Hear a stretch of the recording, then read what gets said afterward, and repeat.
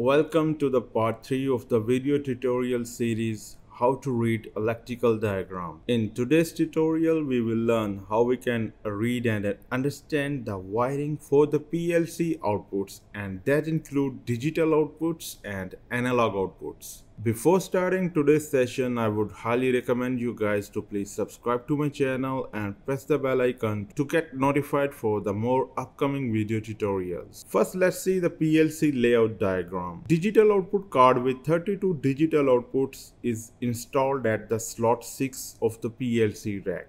We can see the details regarding this card on the diagram on sheet number 6 as you can see that all 32 outputs are mentioned here along with their addresses in the PLC program.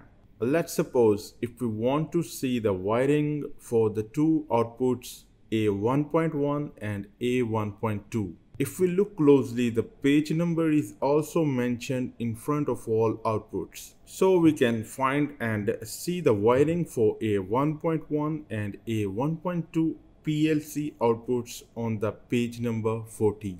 You can find the outputs A1.1 and A1.2 on the page number 40 and in the column number 3 and 4.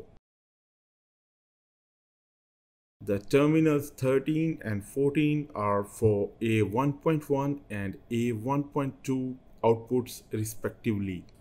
A1.1 PLC output will turn on the KM403 contactor coil through the normal close contact of KM404 contactor.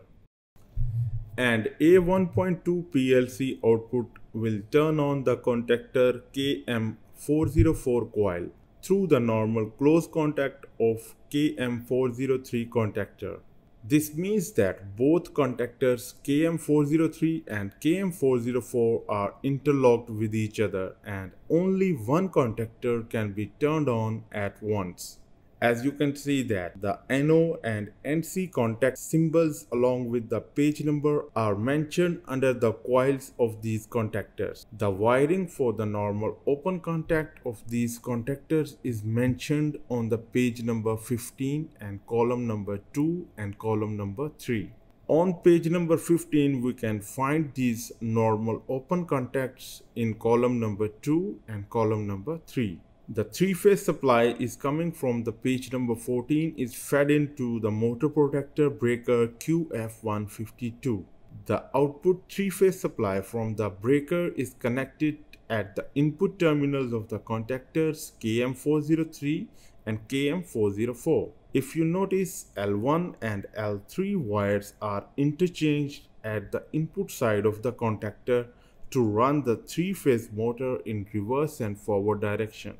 Next, the output side contacts are looped together to make a single three-phase output. This supply then goes and connect to the three-phase motor.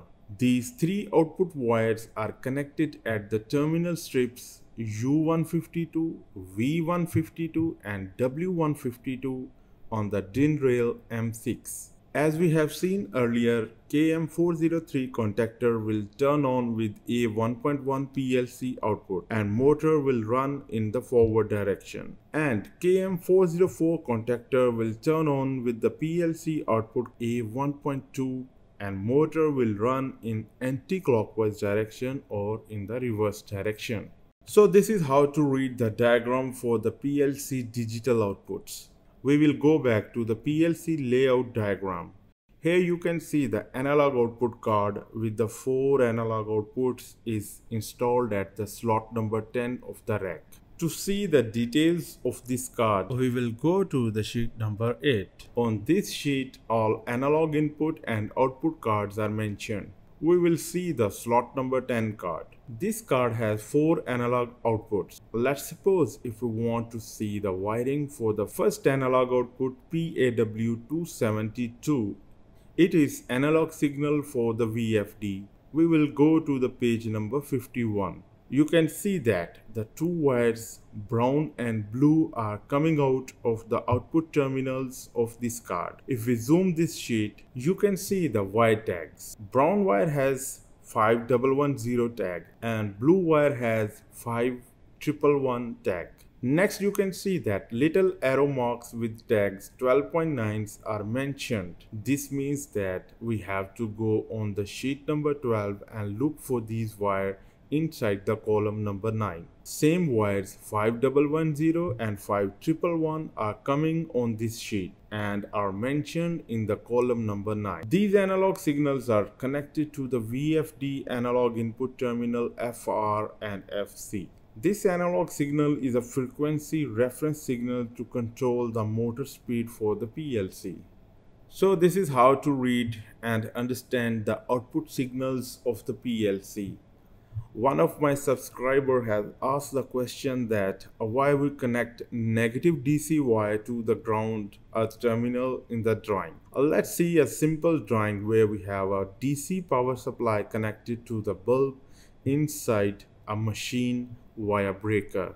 You can see that we have connected the negative DC terminal to the ground and the metal body of the machine is also connected to the ground. All of these ground symbols are connected to each other via ground wire. In normal condition, if we turn on the breaker, the current will follow the path from the 24 volt DC terminal of the power supply to the breaker input. Through this breaker, the current will go to the one end of the bulb and after passing through the bulb, it will come back to the negative end of the power supply. This will complete the current circuit and the bulb start to glow and turn on. Let's imagine if the positive wire gets shorted with the machine body.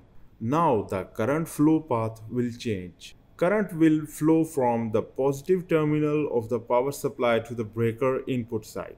Travel through the breaker, comes out and goes towards the input of the bulb. But as we said earlier, now this wire is shorted with the machine body. So it will not go inside the bulb, or rather it will travel on the machine body and goes toward the grounding wire. And through this wire, it will travel back to the negative end of the DC power supply. As the DC negative and the machine body are linked together, so this will create a short circuit between positive and the negative terminal of the power supply as the current reaches the breaker limit, the breaker will trip and cuts the current path. This will protect the wiring and devices installed in the machine. I hope this answers the question and let's come back to the today's video tutorial. I hope you like it. Do share, like and subscribe to my channel and press the bell icon for more upcoming videos. Till next time, take care and goodbye.